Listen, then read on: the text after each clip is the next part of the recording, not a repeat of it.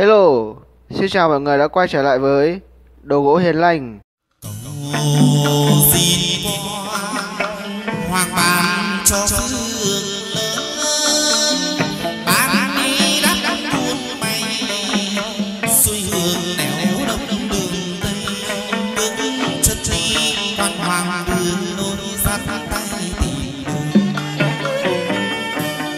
Đời gian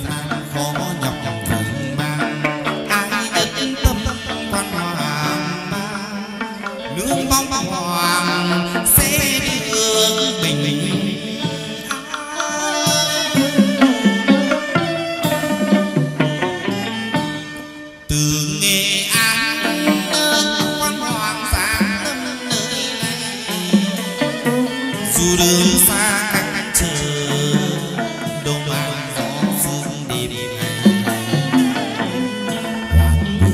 về đây, đông đông ơi